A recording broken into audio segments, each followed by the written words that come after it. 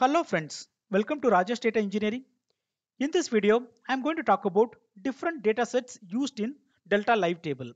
In my previous videos, I talked about introduction to Delta Live Tables and also the differences between declarative and procedural approaches. It's important to understand the declarative approach because that concept use, is used in Delta Live Table. Right, this video onwards, I'm going to talk about different building blocks of Delta Live Table ETL pipeline. So in order to start the development, first we have to create, we have to define different data sets within Delta Live Table. So in this video, I'm going to talk about different types of data sets which are used in Delta Live Table. Coming to different types, we are having three different types of data sets for Delta Live Table. The first one is streaming table. The second one is materialized view. This is also called as live table. So both are uh, interchangeable, either materialized view or live table. Both are same concepts. The third one is view. We understood there are three different types of uh, data sets. Now I will uh, explain more in details about each of the data set so that you can get better understanding for which uh, scenario, for which use case we can go with which kind of data set. Right. Starting with the streaming table.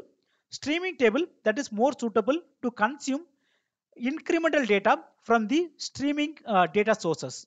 So when we are talking about streaming data sources, that is working in the concept of append only uh, mode, which means in any of the streaming uh, source system, the data will not be changed for the old data. The examples of like Kafka, uh, Azure Event Hub, even Azure Data Lake Storage, Kinesis, you know, these are the examples of streaming data sources. When we have to consume data from these kind of source systems, we can go with streaming table. So these kind of source systems will keep on adding new data files or new data records time to time, but it is not going to update any old records. As a result, we don't need to process, reprocess any of the old data, which means any data file or any data record can be processed only once in streaming table. And coming to processing method, streaming table is mostly using autoloader I have already posted one video, the video number 121. I talked about autoloader. In case you don't have much idea about autoloader, I highly recommend to watch that video before coming to this one. Uh, and coming to streaming table, autoloader is not the only option. Even we can go with Kafka, even other uh, streaming solutions as well. But uh, autoloader, that is one of the most commonly used um, file format or no ingestion uh, tool, which is used for streaming table.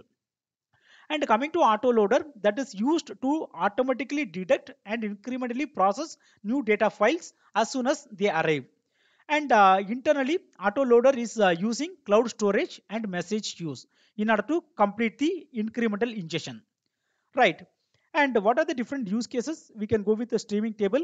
Whenever we have to process huge amount of data, which is uh, growing uh, with high velocity and where low latency is expected. You know, for these kind of scenarios, we can think of streaming uh, table. And also uh, certain use cases where we don't need to recompute the past data. You know, we don't need to touch old data. Whenever we are getting new data, we have to focus only on the new data. Then for those kind of use cases also, we can think about streaming table. And finally, streaming table that is more suitable for extraction stages. In any ETL pipeline, we are having three stages, extraction, transformation and loading. And coming to streaming table, that is more suitable for extraction stage, which means bronze layer in any medallion architecture. So basically, this extraction stage that is uh, dealing with different source systems. It is integrating with source systems. So whenever we have to consume data from streaming sources like Kafka or Azure Event Hub, then we can think of building streaming table. Right. Moving to next uh, data set, which is materialized view. This is quite similar to uh, any traditional database. In most of the traditional databases, we are having this concept, materialized view. What is materialized view? Basically, we are defining one query, which is consuming data from one or more than one table by joining. And uh, it is applying various uh, complex you know, transformations as well. Then that uh, final query would be executed and the output will be stored in one of the table. So that is called materialized view. In regular view also we are defining a query, but uh, the execution will happen dynamically each time while we are calling that view. But it is not storing the data anywhere. But coming to materialized view, we are uh, defining a query. The query will be executed. Then the output will be stored as a live table. So as I mentioned earlier, materialized view is also called as live table. So we are defining a query, that query will be executed, the output of that query will be stored as a live table. And this is more suitable for CD, CDC related use cases, which means change um, uh, data capture, which means in case there is some changes needed for the past data, then we can go with that. You know, any DML operation, it could be insert, update or delete. Anything can be handled for those kind of scenarios. We can go with materialized view. So uh, this is nothing but result of a query that is stored as a live table. And manual uh, uh, DML operations, which means you know manually we cannot insert or update or delete within the materialized view. In case you know we have to make some changes to the data output, then what we have to do is we have to redefine our query. We can adjust only the defined query. Directly we cannot apply any changes on the uh, materialized view. And materialized view this is uh, being refreshed uh, periodically you know we can uh, create some update schedule based on the schedule it can be refreshed time to time and uh, coming to use cases materialized view that is more suitable for transformation and aggregation related uh, uh, stages which means either silver or gold. So basically in silver or gold layer what we are doing is you know we are consuming data from multiple tables by joining. Then you know we are applying various transformations and aggregation. So materialized view that is more suitable for uh, silver and gold layer. Right. Moving on to the next data set which is view this is quite similar to materialized view but only difference is materialized view that is storing the result set as a live table which can be available within the databricks catalog but coming to view here also we are defining a query which will be executed whenever we are calling the view but uh, the uh, query output that is not going to be persisted as a live table. So it is not available into the catalog, which means data is not public, publicly available for analytics. And also this view can be referenced only within the pipeline where we have defined because this is not going to persist the data which means this particular view cannot be referenced in any of the pipeline outside this particular ETL pipeline. So in which pipeline we are defining this view only within that pipeline we can reference. And what are the different use cases? This is uh, uh, no more suitable where the end users or downstream applications are not needing the data because we cannot see the data. Once we have executed, then this is not stored in the catalog. So we cannot see the data. So where the data is not needed for end users or downstream applications, then we can go with view. And also this is mostly suitable for data quality checks and validations. And in certain cases, you we are having very complex logic for one of the data set. It can be materialized view or uh, streaming table. So we can uh, break that complex logic into multiple sub steps. So for that, we can use view. So the initial steps can be converted to view. Then uh, the final step ca that can consume the data from this view, the intermediate result set, then it can materialize the data as uh, either a streaming table or materialized view. These are the different use cases for view. I hope you understood. Right. Coming to syntax, Delta Live Table that is supporting only two programming languages at the moment. One is PySpark, another one is Spark SQL. So I am going to show the syntax in uh, these two different programming languages. First one, streaming live table. In order to define streaming live table, we have to use create then we have to use the keyword streaming table. This is very important. Then we have to define the name for streaming table. Here i have given customer.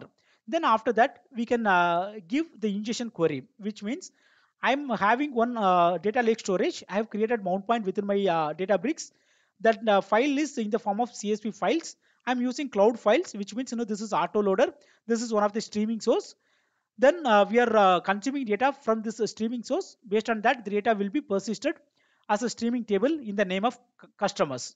So this is how we can create a streaming table in uh, Delta Live table using Spark SQL syntax. So uh, while defining a streaming live table, we can uh, apply many other parameters and properties. I will cover those things later, but in this video, in this syntax, I'm focusing only on uh, the syntax to create different data sets, right? Moving on to materialized view. Here we have to use live table, create live table. For streaming table, we were using streaming table, but coming to materialized view, we can use simply live table. That's the reason this is called as uh, materialized view or live table. So I'm giving a meaningful name, which is a sales aggregate, and I'm defining a query. Here I'm uh, having a query which is uh, joining two different tables. One is uh, sales and customer. Both are live tables, which means one of the in the previous stage I have created uh, uh, you know different uh, delta live table data sets. It could be streaming table or it could be materialized view. So in the previous stage, you know, we have defined some data sets and particular step, I'm consuming data from those two different uh, uh, data sets and applying various transformations. Then finally, this output will be persisted in this materialized view. The third one is view. Uh, in the view, the syntax is live view. Here we were using live table for materialized view. Coming to view, it is going to be live view. And I'm giving some meaningful name. Then I'm defining select query. This is how we can create different data sets using Spark SQL while developing Delta Live Table. Coming to PySpark, we have to use Python decorators, which means we have to import the library, uh, Delta Live Table library. Once that is done, then we have to use at the rate DLT dot table. This is basically creating the table. And this syntax is common for streaming live table and also materialized view in PySpark. See here, here also we are using same at the rate DLT Python decorator then dot table. Then how come Delta Live Engine will understand which one is um, uh, streaming live table, which one is uh, materialized view.